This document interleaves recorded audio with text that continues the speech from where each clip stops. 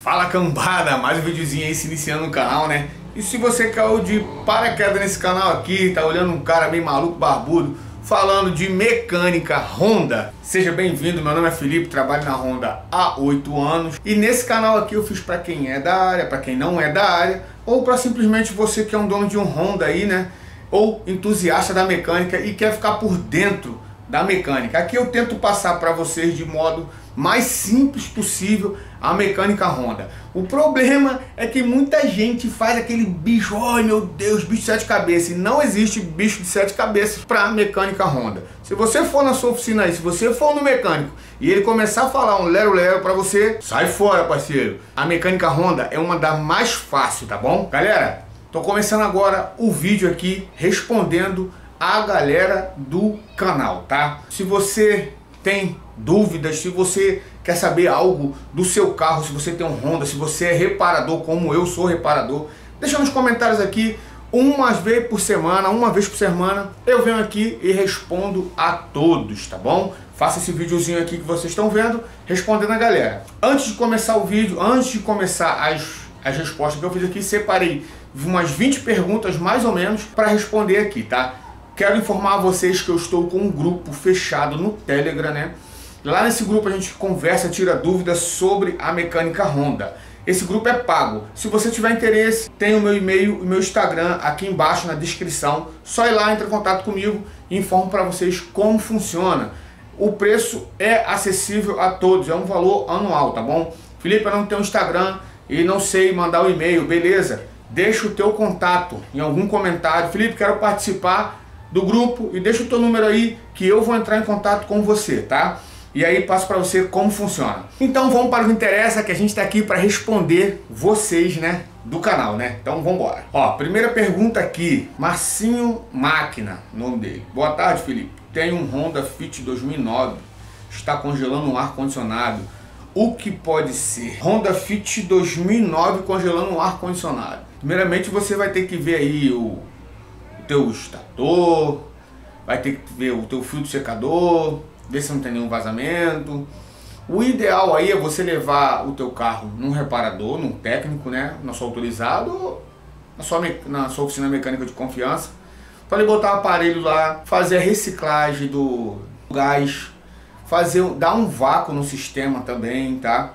Ver se não tem nenhum sensor que está fazendo com que o seu carro congele, porque o Honda ele tem os sensores de temperatura e se esse sensor não estiver funcionando, mandando a informação que quando chega tantos graus o compressor tem que desarmar para depois ele gelar de novo, ele vai congelar o teu sistema. Então leva no seu mecânico aí de confiança para fazer esse, esse reparozinho dessa olhada, tá bom? Vamos para o outro vídeo aqui, outro, outra pergunta. A pergunta aqui é do Ed Wilson Coutinho, tá? Você pode, ele está falando aqui do Honda Fit. Você pode, por favor, falar do Fit 2011 automático. A caixa não é CVT. A troca é como? Você vai trocar troca parcial. Tem um vídeo aqui para baixo que eu falo explicando tudinho sobre troca parcial e total do seu câmbio. Então, se seu Fit lá é um 2011, né? Você vai trocar 3 litros de óleo ATF. Arriou um óleo, colocou outro Felipe, e o filtro?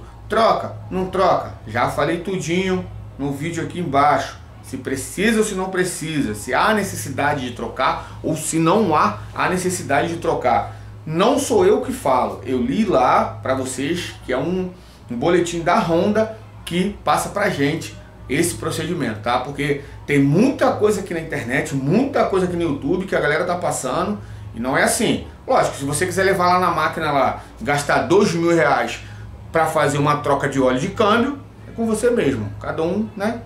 Escolhe. Como o camarada deixou aí, ah, vai botar o óleo, misturar óleo velho com óleo novo. Irmão, a gente faz o que o engenheiro estudou e passou pra gente, né? Então aí chega aqui fora, Ei, eu sei mais do que o cara, não é assim, né? Assado. Então vamos embora. E o óleo que fica no conversor é, muito, é mínimo, é pouco, tá? Então assim, não tem problema algum você fazer a sua troca é, parcial, não dá problema algum, canso de trocar, nenhum carro retorna.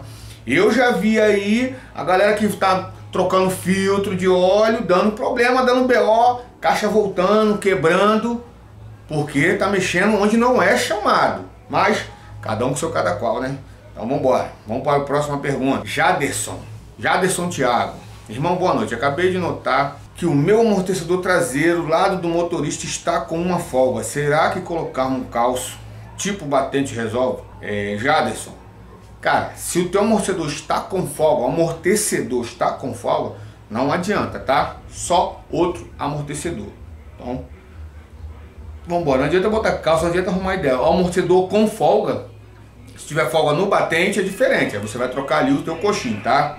Então, vamos embora. Vamos para a próxima aqui, ó. Honda City com freio de mão travado. Aí o irmão Souza, nome do canal do cara, irmão Souza. Felipe, vê se você consegue me ajudar. O novo City veio com os pneus 185 55 16 e ele raspa demais. Será que posso colocar um 95 60 16? Até porque não achei um 85 60 16. Só na configuração 195. O que você acha? Vai atrapalhar nas, nas distorções ou no amortecedor?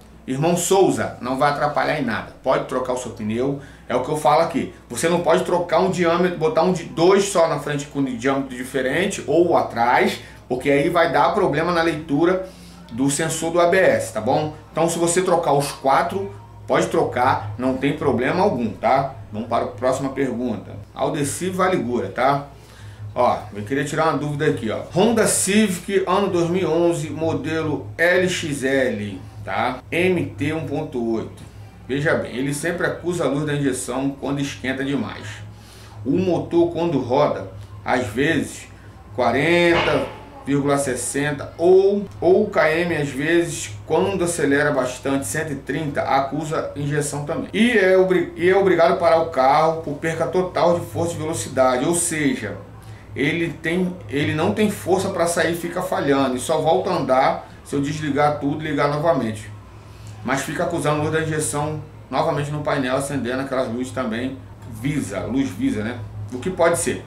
Vamos lá, ao descer, o que acontece, cara? Pode ser várias coisas, mas quando acontece isso no seu carro, provavelmente o teu carro pode estar tá esquentando. Ah, mas não acusou nada lá, beleza.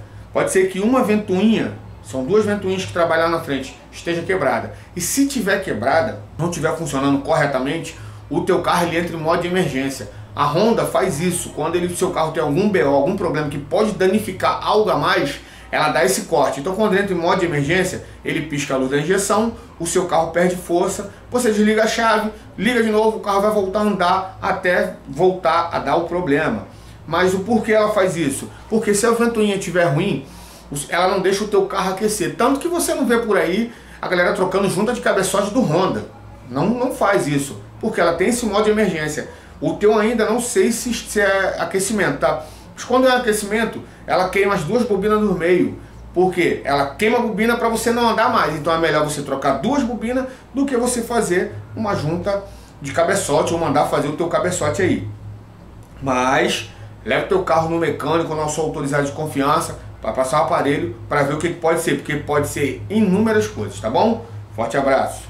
Icon Fantone, Icon Fantone. Ele quer saber aqui, ó, para tirar a retirada do ar do sistema, qual o procedimento. Então tá falando da troca do fluido, tá? Do fit, do arrefecimento do fit. Você pode ali, ó, tirar, tirei a tampa do radiador, tirei o dreno, pode colocar outro sem problema algum. Felipe, eu quero tirar o ar. Beleza, eu vou, já vou te deixar de antemão que não dá ar se você fizer isso, tá? Felipe, eu quero tirar o ar do sistema. Você vai lá na válvula, lá no sensor de temperatura, se for o fit, caso do fit, lá atrás, ele pega ali por trás ali do, do cabeçote, você vai abrir ele ele vai sair a, o arrefecimento.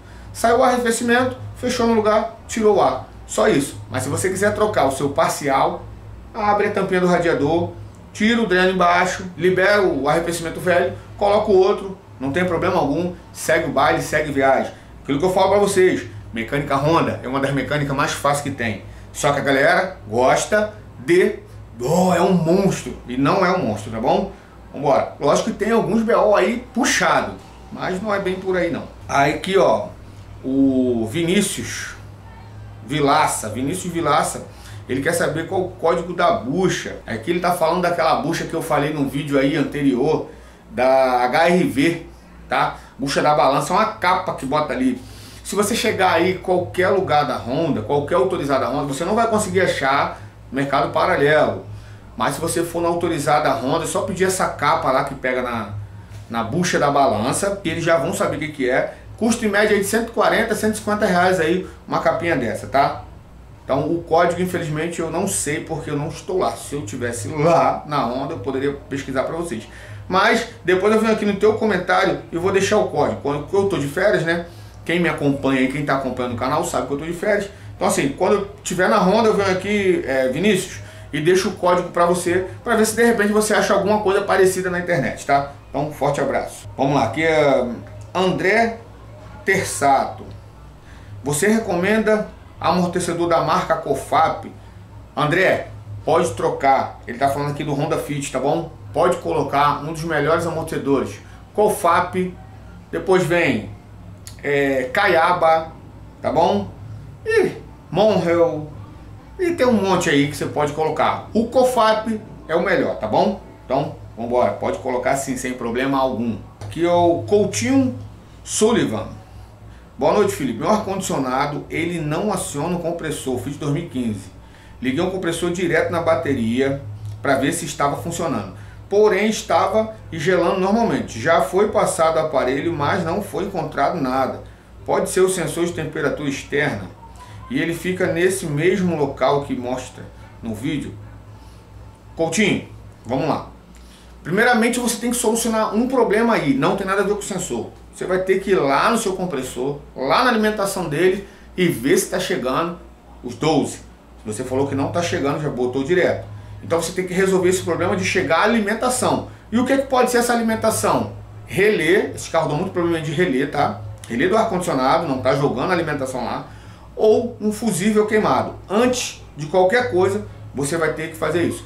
Até porque você colocou o 12 lá e o teu carro gelou normalmente, então não tem problema nenhum com sensor nenhum, tá? Primeiro ver relé e fusível, tá bom? Vambora. O Whindersson Silva, não é o Whindersson Nunes não, tá? o Whindersson Silva, vambora. É, mas ele tá falando aqui da HRV, tá? Mas se na HRV, mas tá falando da bucha de novo aquela capa, tá bom? Mas se na HRV mais nova isso for resolvido, se usar a bucha da HRV mais nova não daria certo, vamos lá, é, é o Whindersson, Whindersson Silva. Cara, o que acontece? Não é que foi resolvido, eles não botaram uma bucha diferente, ela já vem com essa capa, entendeu? Então, a HRV mais nova, algumas já vem com a capa direta ali, ó, originalzinha de fábrica da montadora. Já colocou a capa e não dá mais esse barulho. Então não adianta eu chegar lá, ah, eu quero a bucha tal. É a mesma bucha, não mudou nada. Não mudou nada. Você vai ter que colocar a capa do mesmo jeito, tá? Vambora. André Luiz Machado. Ele perguntou de novo aqui, ó. Mas misturar o óleo velho com o óleo novo não é problema? Falei aqui no último comentário aí, tá? Ele tá falando do troca do óleo. Parcial ou total do câmbio. André, não tem problema algum faz lá sua troca parcial, você vai economizar dinheiro e está fazendo o certo, o que a Honda recomenda para você fazer. Felipe, eu quero levar na máquina. Felipe, eu quero trocar 8 litros de óleo na minha caixa. Show de bola! Eu não estou recriminando ninguém aqui que faça isso. Então você pode ir lá trocar o seu óleo de boa, botar os seus 8 litros e ó, segue o baile. Agora, quer economizar? Faz o certo, o que a Honda recomenda, recomenda para vocês e vocês vão economizar o bolsinho, né? Então, vamos embora para a próxima. Carro, carro. Felipe, luz da direção CRV 2011 acendendo, apaga. Ao desligar o carro, a direção fica travando e depois volta ao normal. Carro, carro. É o seguinte, dá uma olhada na tua bateria, porque a bateria se estiver em curto, dá isso. Ah, Felipe, a minha bateria está boa, eu ligo o carro de manhã, de tarde, não dá problema nenhum. Beleza, mas faz o teste, porque às vezes sua bateria está ligando o carro, mas ela não está gerando tanta energia para o sistema todo, tá? Então pode ser tua bateria dando ruim.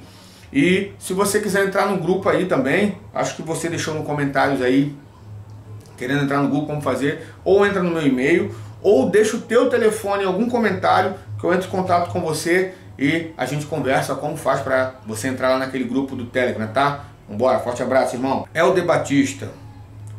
Você recomenda kit suspensão Caiaba, coxim coife batente para o Civic 2014 1.8? Helder, pode colocar sem medo. vai ficar bom o carro, não tem problema algum. Só que deixa eu falar uma coisa para vocês aí que são donos de Honda, para vocês que adoram colocar aí esses Caiaba, Cofap, tá? É, Axos.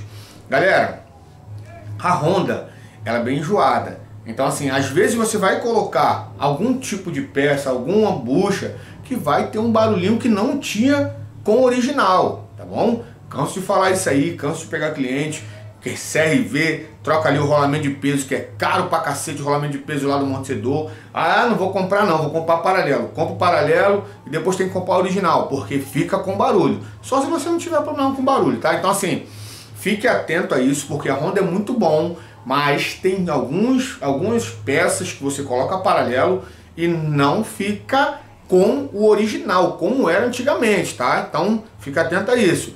Entenda que você vai colocar um amortecedor, uma bucha paralela, são marcas boas sim, mas às vezes não fica como original. Pode, ter que fique, pode ser que fique algum barulhinho, tá bom? Então, vamos para a próxima aí, pergunta. Pode colocar caiaba sim, cofato, o que você quiser. Axos, pode colocar, tá? É... Geivan, Bezerra, Geivan Bezerra. Rapaz, quando você diz essa capa você quis dizer que gira em torno de quanto em média na concessionária. Aquele quer saber também, vou falar mais uma vez aqui, daquela capa, né, da HRV da bucha, tá? É 140 e 150 reais. Falei numa outra pergunta aqui, mas tô respondendo aí você, tá bom? E Geivan, entre 40, entre 140 a 150 reais aí, essa capinha da bucha lá, que a galera, tá vendo a galera não sabia, né? Vamos lá, Lidiane Ber, Bergotti, Bergoc, Lidiane Bergoc. Oi, filho, tudo bem? Estou há um ano com o City 2011. Levei na concessionária para diagnóstico de embreagem. Pedal está alto e rangindo. A concessionária disse que tenho que trocar toda a embreagem, incluindo o volante do motor. Uma pancada de 9 mil reais. É claro que não autorizei o serviço, mandei o mesmo orçamento, mandei o mesmo orçamento para uma oficina especializada e me passaram um valor de 3,100 para a troca da embreagem do reparo do cilindro mestre, se necessário trocar o fluido e retificar o volante do motor. Vendo seu vídeo, acho que uma acho uma falta de respeito a concessionária fazer isso. O carro é financiado e nem consigo ainda trocar por outro. Nem quero, pois o meu City, meu City banco, banco de couro econômico, se for comprar o kit e os cilindros avulso, qual marca você indica? Você pode colocar aí o kit Sash pode colocar o. Você pode colocar aí o kit Sash, o look, tá? Muito bom também. Ah, Felipe, e os cilindros? Então, o cilindro, se você puder colocar original, porque o cilindro não é tão caro assim não, tá? Você pode colocar o original e não tem problema algum. Ah, mas tem marcas aí fora? Tem. Mas eu não, não, não me vê o nome agora delas. Eu aconselho você colocar o original. 3,100, ó, a média aí do teu, a média do teu embreagem é 600, 700 reais. Mais cilindro, vamos supor que você gaste aí uns mil. Eu acho que 3,100 ainda para fazer essa embreagem ainda tá puxado, tá? Mas cada um, né, tem o seu valor. Só tô falando que e outra, o volante do motor às vezes nem há necessidade nem de dar passe. O volante do motor tá ok, tá? Então fica atento aí.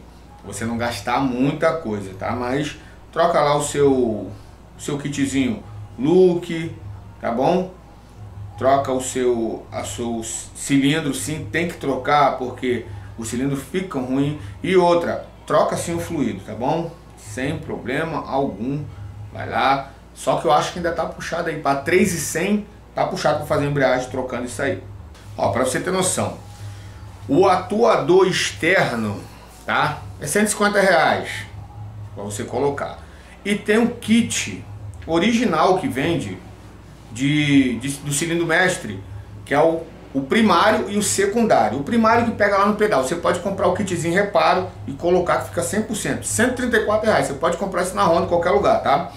E o outro você pode comprar no Mercado Livre de boa aí e vai ser feliz, tá bom? Então, espero ter aí respondido, tá? Já não vai gastar tanto com a sua embreagem, mas lógico, de 9 mil para 3,100 está maravilhoso. Ó, Jonathan, tem um Honda City 2010, acendeu a luz laranja, com uma bomba de posto com um G no meio. O que pode ser? é, Jonatas, Jonatas Ivan, isso aí tá falando para você lá do teu a partida a fria, tá? Pode ter queimado lá, tem um sensorzinho que faz a leitura e ela queimou e aí fica acendendo direto, tá bom? Então fica tranquilo que não é nada demais, só depois de trocar. Ou a sua partida fria está sem combustível, vai lá, bota um pouquinho de combustível e vê se vai apagar. Se não apagar, você já sabe que tem que ali mexer nele, tem que trocar esse sensor que fica ali por trás do paralama, tá bom? Sérgio Golianelli, vamos lá. Tem um Civic G9, qual seria um bom jogo de vela? Você vai comprar aí, cara, a vela Iridio NGK. Toma cuidado para não comprarem vela falsa. Tem um montão de vela falsa no mercado. Pelo amor de Deus, não vá dar esse mole. Um jogo de vela desse carro deve estar na faixa de 450 a 500 reais. Então você vai lá ver um preço, um jogo de vela por 200 reais e acha, ai que maravilha, vou comprar. Não vá, que você vai gastar muito mais. Vamos para a próxima.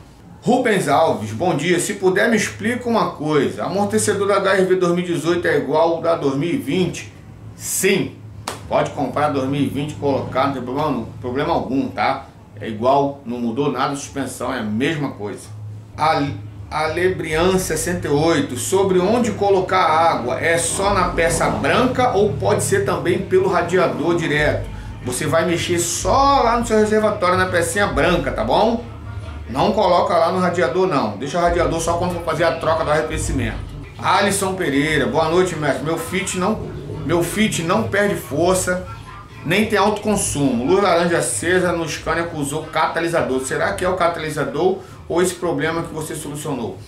Então, pode ser esse problema que eu solucionei aqui, tá? Então vamos tomar cuidado que às vezes tá dando catalisador, seu carro tá tudo direitinho, tudo ok Show de bola, pode ser esse probleminha aí. E tá falando do Honda Fit, troca da bomba do subtanque, tá? Então, vamos ficar ligado.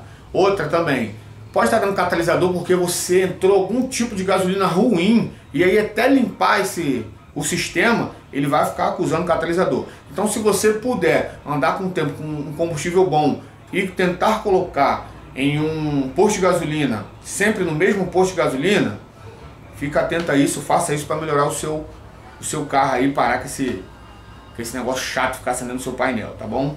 Vamos para mais uma aqui. Felipe teria como dar informações Honda Civic 2018 não está funcionando após, após várias retiradas da bateria. Gustavo Modesto Dourado. Então, o teu carro provavelmente perdeu os ajustes. Então, você vai ter que ajustar. Teu carro afogou também. Que é isso? O carro afogou sim. Quando ele perde o ajuste, você fica ligando e a vela fica encharcada de combustível. Então tem um procedimento que a gente faz com o aparelho que desliga o combustível, tá? E aí ele queima aquele combustível que está lá na vela. Felipe, trocamos o botão do freio, mas o problema persiste, HRV. É o seguinte, você vai ter que ver, passar o aparelho e ver se tem outro problema, tá? Galera, vou finalizar o vídeo aqui agora, porque já tá ficando longo. Meus vizinhos já estão chegando com um baile funk aqui na porta. e aí vocês vão ficar escutando funk toda hora, tá bom? Deixa eu ver. Apesar que só tem mais uma pergunta aqui e eu vou responder aqui, tá bom? Se você escutar um funkzinho, liga não, que é a vizinhança, tá? Então vamos lá, vou tentar aumentar o volume aqui para vocês não ficarem escutando o funk. Ó, deu problema porque o cara aqui, ó, pontos contados na Umbanda Deu problema porque o cara metia aditivo puro no carro, ó. Ele tá falando do cuidado do líquido arrefecimento, tá bom? Que deu problema num Civic lá. Então, ó, deu problema por um cara, deu problema porque o cara metia aditivo puro no carro. Se completar com aditivo já diluído, não tem problema. Ou completar com água desmineralizada. Pode completar o seu aditivo com água desmineralizada. Mas se você estiver na rua aí, tal, no perrengue, pode colocar água da biga que não tem problema algum. É pouca coisa que você vai colocar. Depois você troca o seu arrefecimento. Só não coloca esse aditivo maluco aí para não dar problema no seu sistema, tá? E pra gente fechar aqui, essa pergunta fresquinha da Roberta M.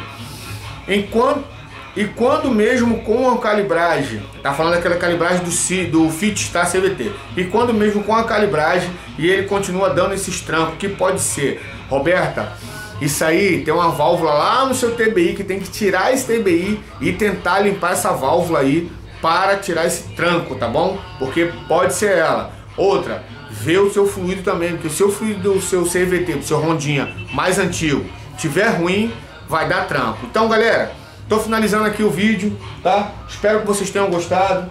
Se você tiver alguma dúvida, se tiver algum comentário, deixa aqui embaixo. Finalizando mais uma vez, vou falar mais uma vez para vocês. Estou com um grupo fechado, esse grupo é pago, tá bom? No Telegram. E se você tiver interesse, entre em contato comigo, eu deixo o meu Instagram aqui embaixo, deixo o meu e-mail aqui embaixo, entre em contato comigo e passo para vocês como funciona. Felipe, não tem Instagram e não consigo mandar e-mail. Deixa o teu telefone aqui, algum comentário de algum vídeo, eu vou ver e entro em contato com você, tá bom? Então, a única coisa que eu peço para vocês aqui nesse canal é o seguinte, ó, larga like, se inscreve no canal e deixa nos comentários aí. Forte abraço, porque ó, o baile vai começar. Meus vizinhos é assim, né? Fazer o quê?